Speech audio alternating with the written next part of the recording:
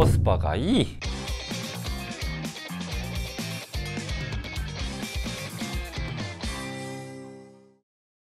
こんにちは。視聴ができるお店イヤホンヘッドホン専門店イヤホンの浜ちゃんです。本日のご紹介はですねどうやらこの Amazon でもですねかなり人気らしい、えー、商品をご紹介しようと思います。それがこちら。イヤーファンエアープロ2イヤホンのウェブ本店価格では、えー、8560円で販売してるんですけどもどうやらですねまあ噂ではコスパがすごいとかこの価格帯でこの機能でこの音っていうのはですね驚きの言葉がいろいろ寄せられてるらしいんで今日は実機を開けていって、えー、秘密を探っていこうと思います。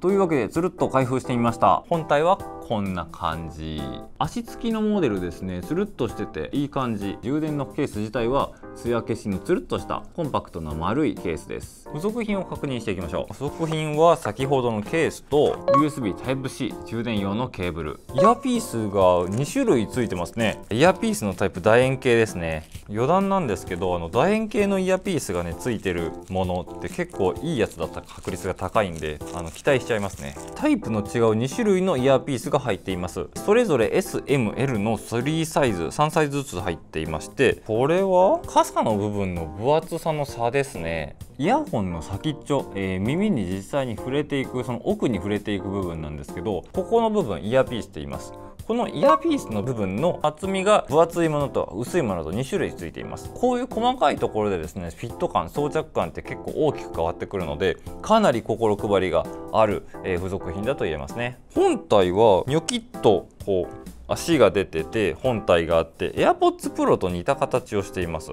充電ケースの部分は割とケースの大きさに余裕があって充電のその金属ですね充電する部分のところは磁石でくっつくのでケースを逆さまにしても落ちません。では早速装着していこうと思います、うん、なんか装着感自体はこうさらっとくっつけられる感じがいいですね。そこまでギューッと耳の奥に入れるっていう感じじゃなくてうまいこと引っ掛けるっていう感じの装着感軽い装着感ですね楽ちんです。イヤーピースちょっと変えてみようかな。あイヤーピース結構変わるかもしんないですね。パッと見じゃあいやそんなにサイズ変わらないけどなっていう感じのサイズ感やったんですけどイヤーピースのその厚さって結構重要かもしれないですね。今はですねアンビエントサウンド外音を取り込むモードでお話をしています。ノイズキャンセリングと外音取り込みの切り替えなんですけど左側を長押しします。使ってみた感想なんですけども正直すごいぞこれは。思っていたよりもレベルが高いです。ノイズキャンセリングなんですけど8000円ちょっとぐらいのイヤホン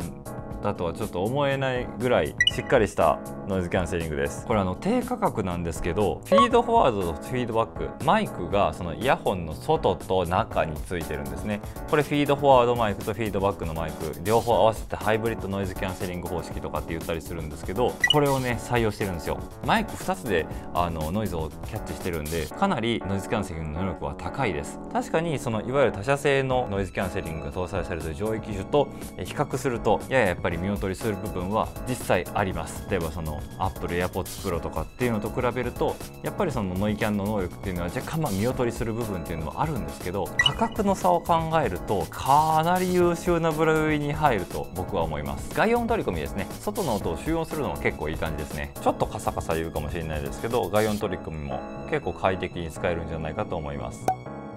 音なんですけどこれもね予想してたより良かったんですよ。Amazon でも人気出るわっていう感じなんですけど 10mm のチタンコンポジットダイナミックドライバーが搭載されてます。10mm のドライバーってこういう風なね完全ワイヤレスイヤホンではかなり大きい部類に入るんですよ。すごくねそのダイナミックドライバーの口径が大きいっていうところもあってバランスもいいですし結構量感のある低音このズーンってちゃんと量感のある低音が出るので思っている以上にバランスもいいです。結構量感のある低音がしっかりしているんで上に続いていくミッドハイの部分もですねすごく見通しがいいのでノーマークしてた自分が恥ずかしいですね。イヤーファンかなりパフォーマンスの高い製品を作っているなっていう風に感じました。特にですねこれがすごい得意っていう風なサウンドっていうと万能型かなっていう風に思いますね。どんな音楽を聴いてもメリハリよく聴けるかなという風に思います。どちらかというとバンドサウンドであったりとかリズムの強いような、え楽曲の方がいいのかなっていう風に思います。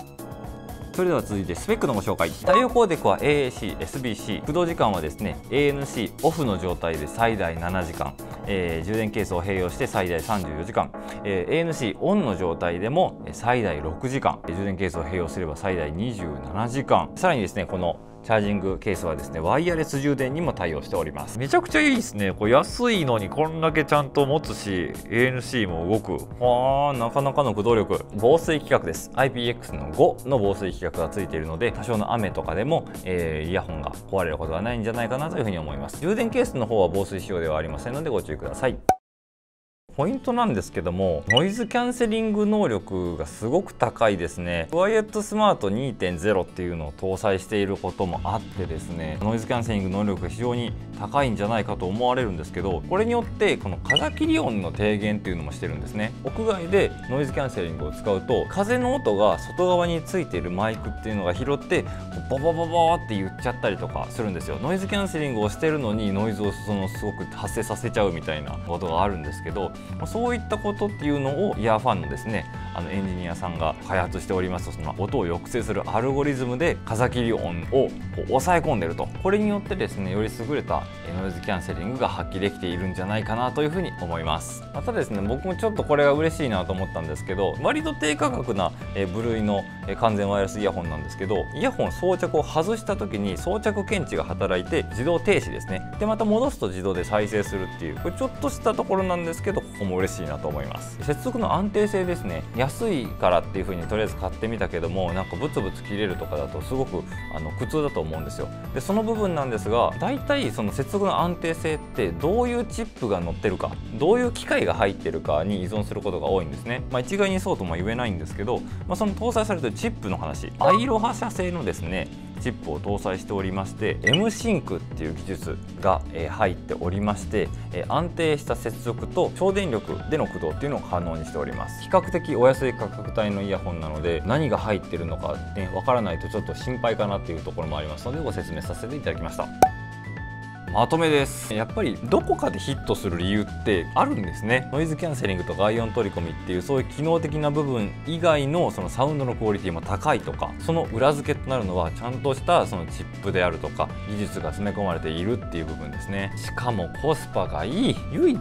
まだ要求として足りないとすれば専用のアプリケーションがないとかそれぐらいですかね。かなりですね普段使いしやすいコスパの高いワイヤレスイヤホンだと思います。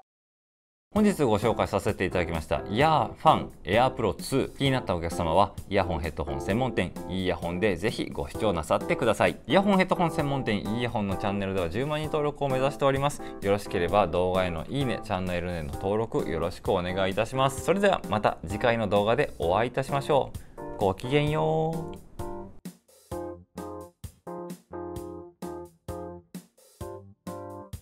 イヤホンヘッドホン専門店 e イヤホンの公式ラジオ番組 e イヤホンラジオ略して e ラジ。平日朝6時から Voicy にて配信中。